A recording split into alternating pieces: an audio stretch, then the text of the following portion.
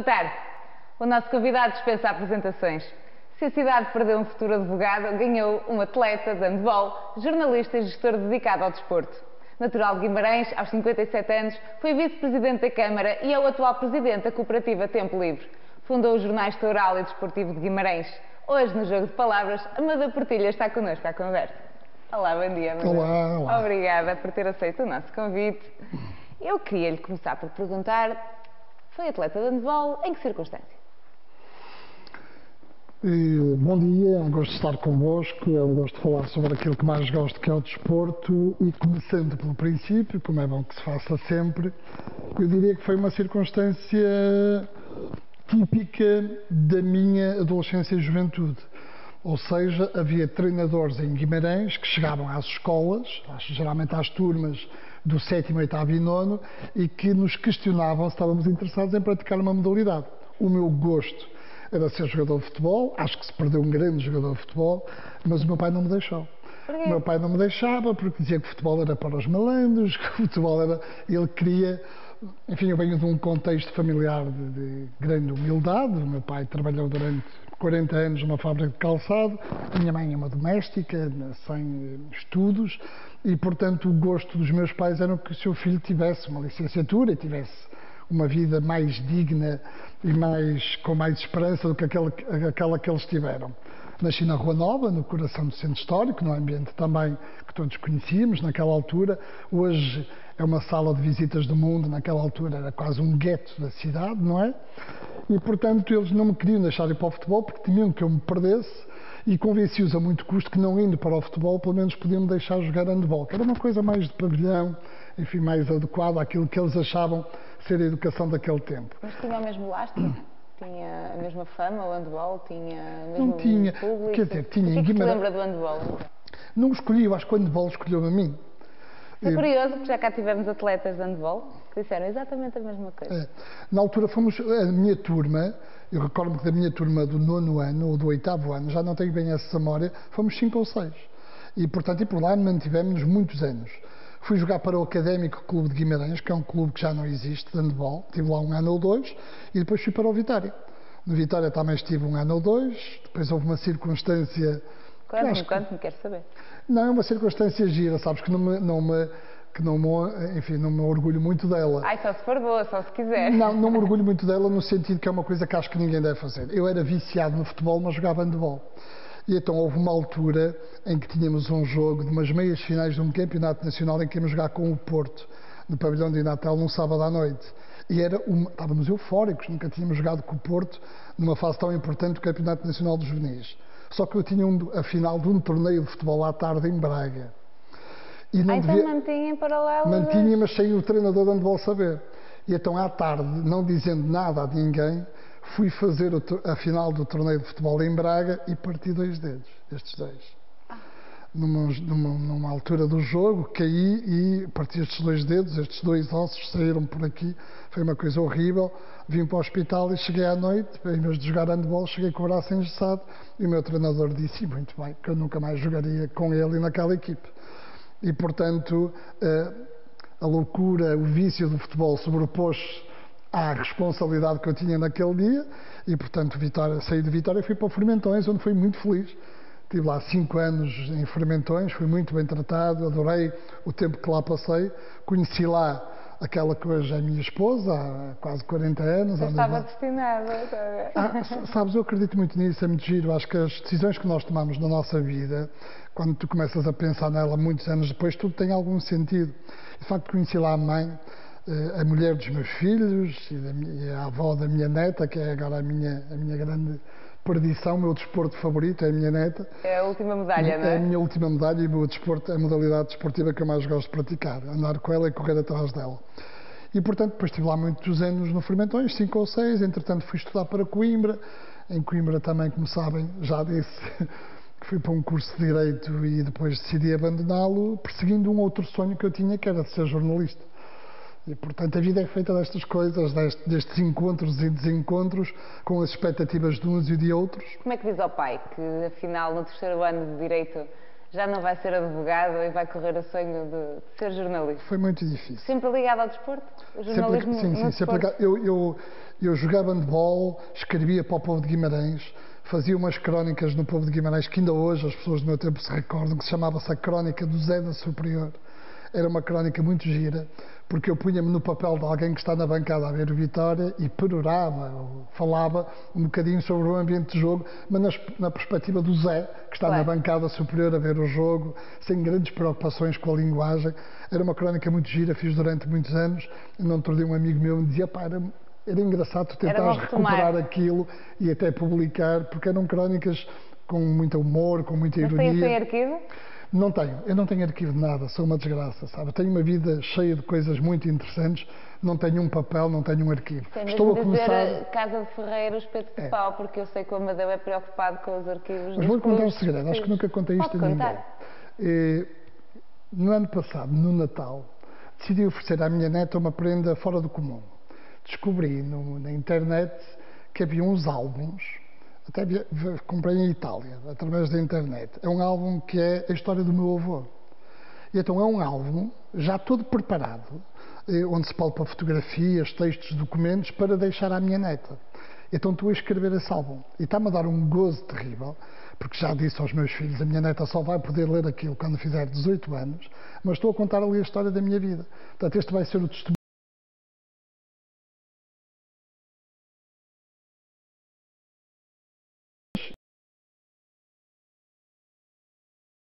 Fotografia, tens aqui o documento e toda uma experiência muito gira, tem que ser muito, é muito sintética, não é? Porque não há muito para escrever, mas às tantas, um dia que me reforme, vou pegar nisso e vou tentar escrever alguma coisa. Esse Aliás, pode ser a base para, uma, para um, se calhar um- uma coisa mais alargada eu gostava muito de escrever um mais livro que dirigida, se calhar, está- ao público. Já Sim. percebi que lhe pede isso.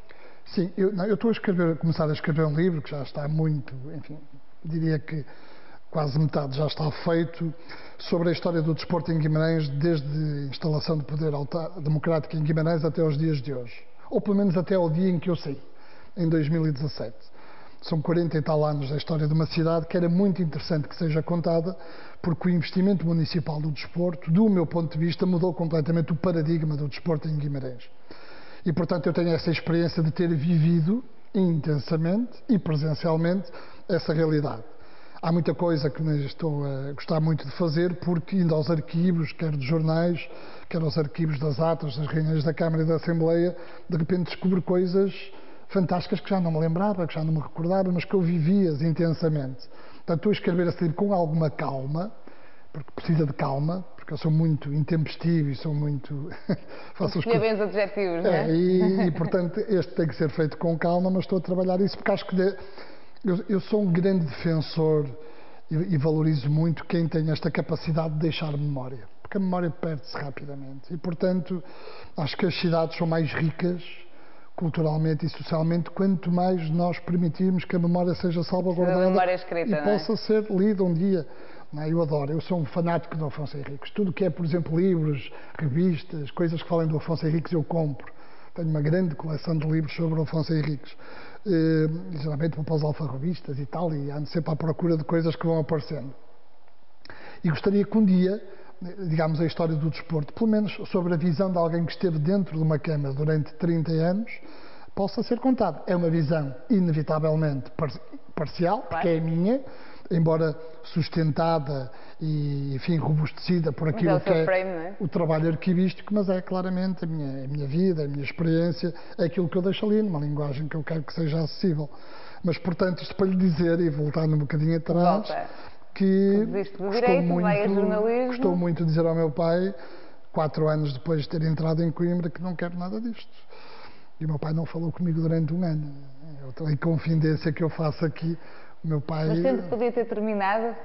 Ou foi no momento em que que Sinto ser? que devia ter terminado, sinto que podia ter terminado uns anos na altura mais eram tarde. 5 anos, não é? Na altura eram cinco anos, era um curso muito difícil. Sim. Eu entrei para Coimbra em, dois, em 1982, 83 e de Guimarães só entraram duas pessoas em Coimbra. Duas pessoas. Eu e uma minha colega, Ana Luísa Gomes Alves, fomos os dois que entramos em Coimbra com uma média muito boa na altura. Enfim, era um aluno mais ou menos razoável, Claro. mais ou menos razoável, suficiente para de poder Coimbra. entrar em Coimbra. Entramos só dois Claro. de Guimarães em Coimbra, foi uma experiência traumática para mim. Eu, eu, eu não gostava do curso de Direito, nunca gostei. Mas isso também é fundamental, quando nós percebemos que não é por ali, não é?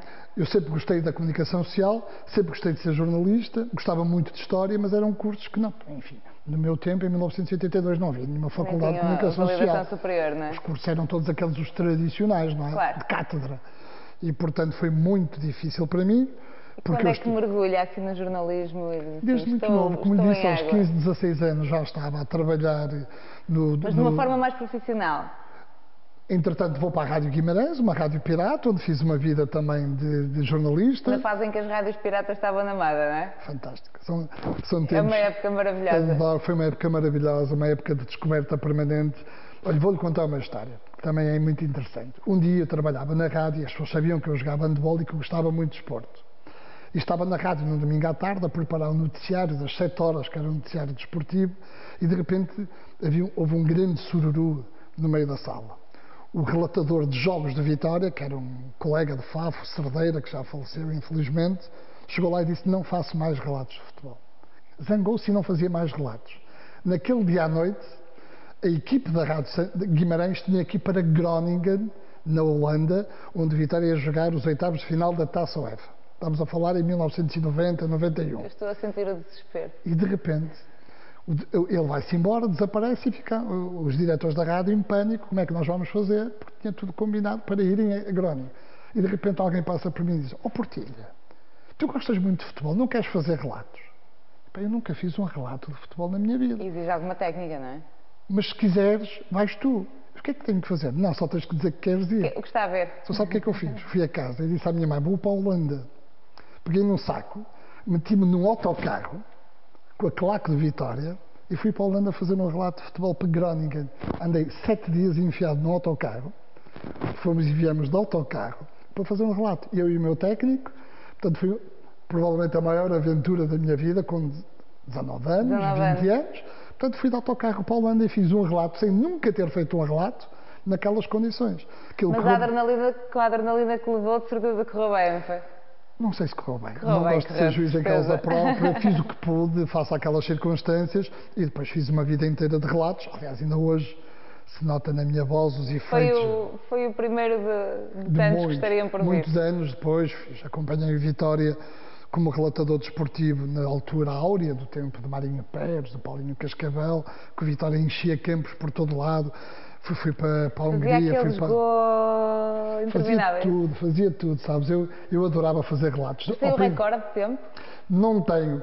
Tenho o recorde de uma coisa muito gira que disse, uma espécie de um palavrão, quando o Paulinho Cascavel marcou o segundo gol nas Antas. Nós empatámos 2-2 no est- no antigo estado das Antas, num jogo absolutamente memorável, com quase 16 mil vitorianos nas bancadas. E o Vitória fez 1-0 pelo Paulinho Cascavel, o Porto empatou e o Vitória, na segunda parte, a meio, Paulinho Cascavel faz o 2-1. E eu tive uma frase que agora não vou repetir aqui, mas estava Muito tão, estava é? tão entusiasmado que ah, aqui um golão, não sei o quê.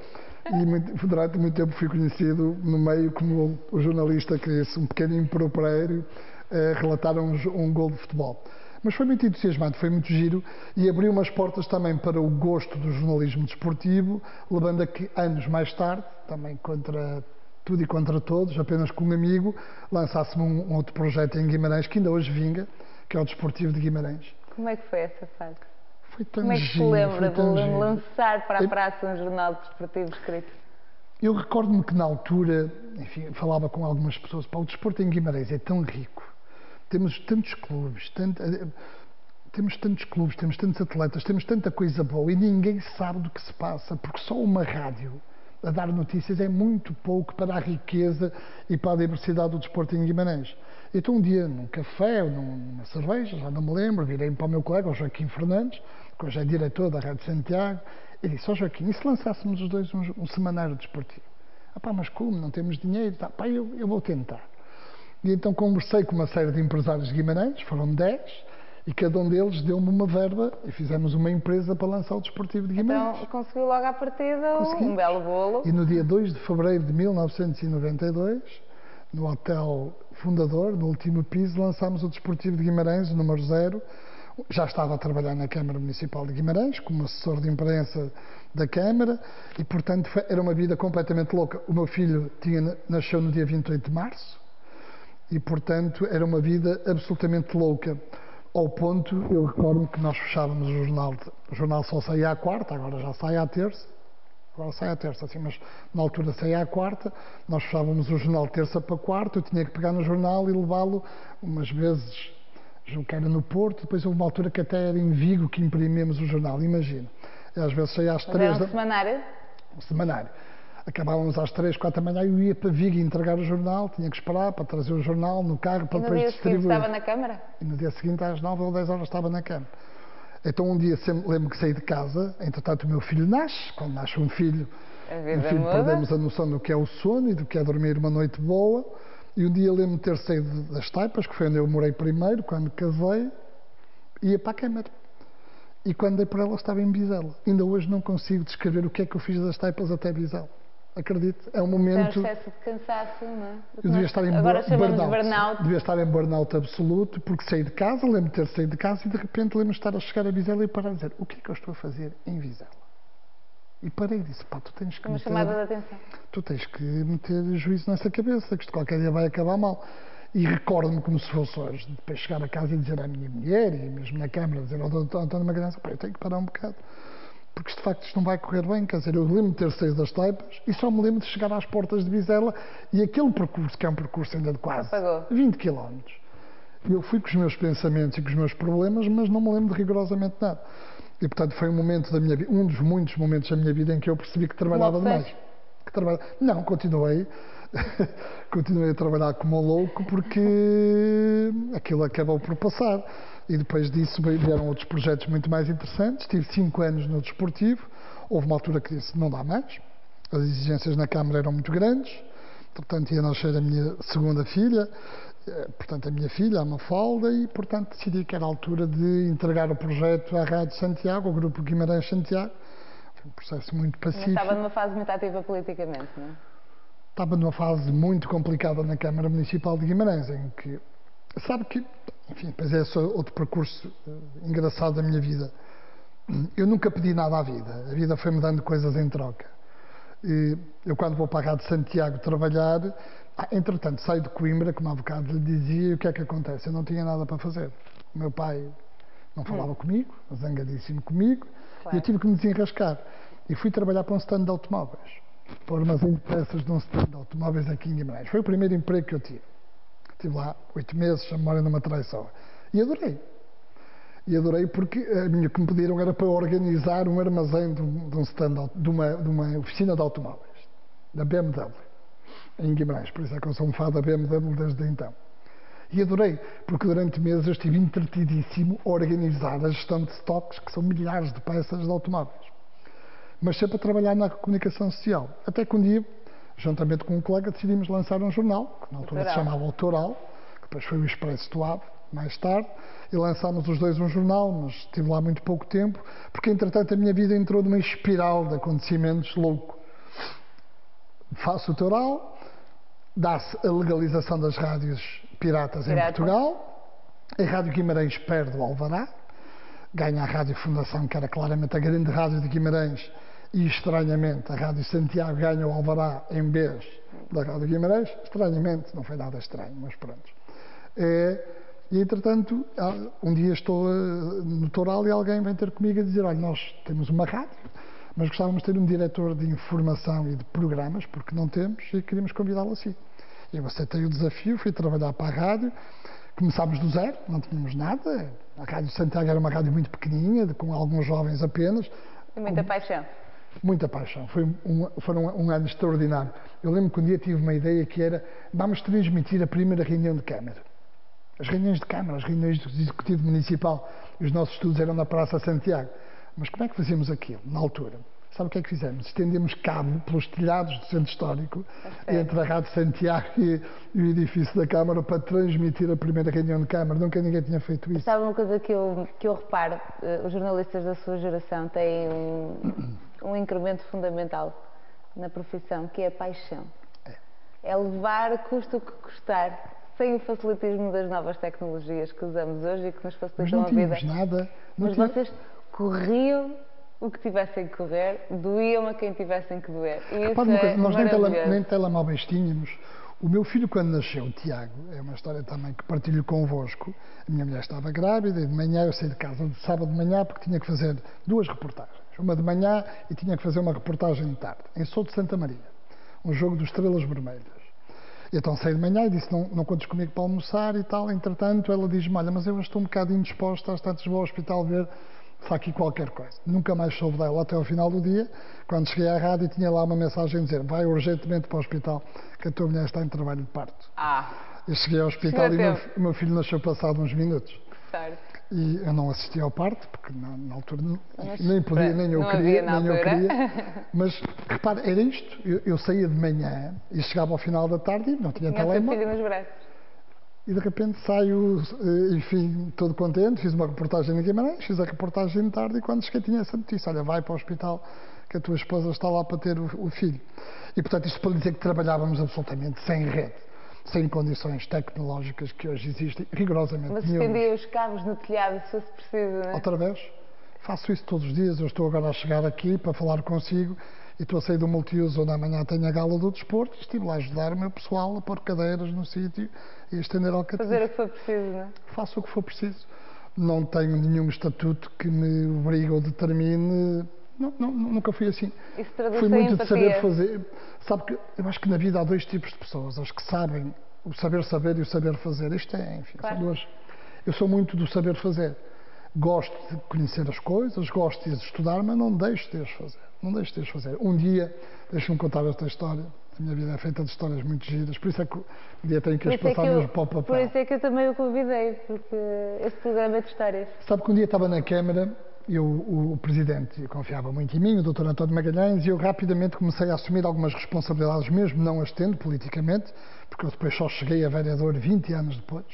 Só Mas já ve- ligado ao PS? Sempre Ou ligado ao PS. Eu fui- estive sempre ligado Era ao partido. Eu fui o primeiro secretário coordenador da Juventude Socialista em Guimarães. Uau. Depois do António Fernandes, fui eu. Mas depois, entretanto, desliguei-me completamente da política. Quando fui para Coimbra, desliguei-me. E foi com muita surpresa minha que um dia estava na rádio e me ligam a dizer que o Dr. António Magalhães queria convidar comigo e convidou-me para ser seu assessor de imprensa. E recordo-me se fosse hoje a primeira conversa que tive com ele, em que, enfim, disse que aceitava, que achava que ia ser um desafio muito giro, que construir um, um gabinete de comunicação dentro de uma Câmara Municipal. Cheguei à Câmara Municipal às nove da manhã, que ela é British, nas questões de pontualidade, como eu sou ainda hoje, detesto que se atrasem. E cheguei e disse, meu caro Presidente, aceitei o seu convite, estou aqui para trabalhar consigo, diga o que é que quer de mim. E recordo-me hoje das palavras dele, que eu procuro também transmitir isto para outras, para outras coisas da nossa vida. Amadeu Portillo, disseram-me durante o tempo em que eu estive em Lisboa que hoje um bom Presidente da Câmara tem que saber comunicar e tem que ter um bom assessor de imprensa. Disseram-me também que você é do melhor que há aqui em Guimarães, na área do jornalismo. Portanto, agora é consigo, desenrasque-se. Esta é uma lição de vida absolutamente fantástica. Eu digo É muitas vezes. assustador e um privilégio ao mesmo tempo, não é? É, e digo muitas vezes isto às pessoas que trabalham comigo. Eu procuro ter equipes muito talentosas, vou buscá-los onde eles estiverem. E por isso é que tive uma pessoa de Faf, outra de Viseu, e ainda hoje tenho a trabalhar comigo. Eu vou buscá-los onde eles estão, onde eu os descubro. É um bom caçador de talentos. Descubro alguns bons talentos e engano-me também algumas vezes. Engano-me Como, algumas como é vezes. inerente ao ser É. humano. Mas recordo-me que muitas vezes digo aos meus funcionários: eu não percebo nada de finanças, não tenho que perceber, mas tenho uma boa diretora financeira. E quando ela vem um problema, eu digo muitas vezes isso: não faça a mínima ideia, desenrasque-se, porque essa é a sua área. Eu tenho que ser assim, um presidente da direção, um vereador, um presidente da Câmara, não tem que ser especialista de tudo. Tem que ser alguém que, pela sua experiência, pela sua sagacidade, não é? Pela sua inteligência, tenha a capacidade de fazer a síntese. Nós temos que fazer a síntese daquilo que ouvimos, daquilo que aprendemos, daquilo que lemos E responsabilizamos também as pessoas. e é? responsabilizar as pessoas.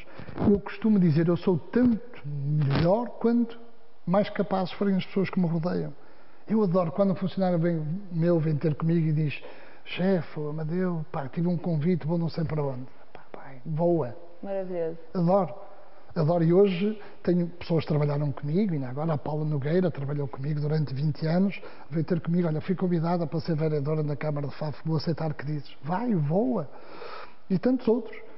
não é? é um gosto, é uma satisfação, é uma alegria imensa eu sentir que as pessoas que eu confiei num determinado momento. Deixam de si e levam de si. É, muito isso. É, a, palavra, a, a, frase é mesmo essa, tenho que memorizar.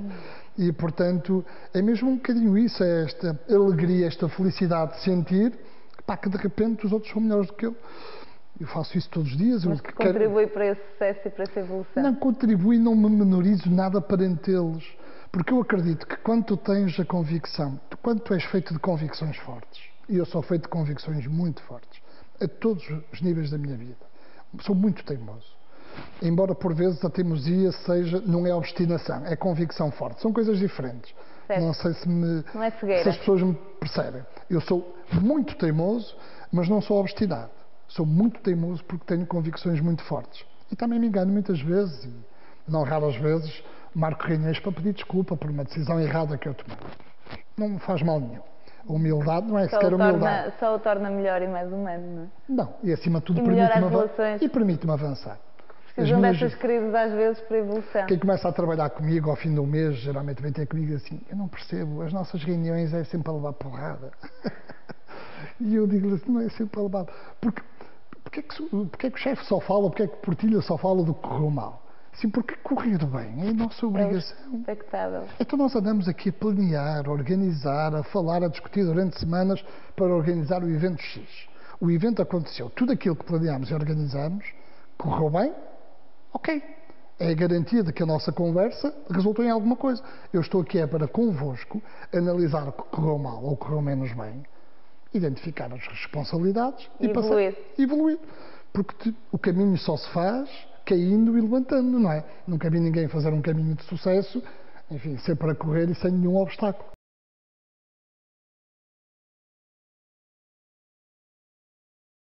Este programa tem o patrocínio de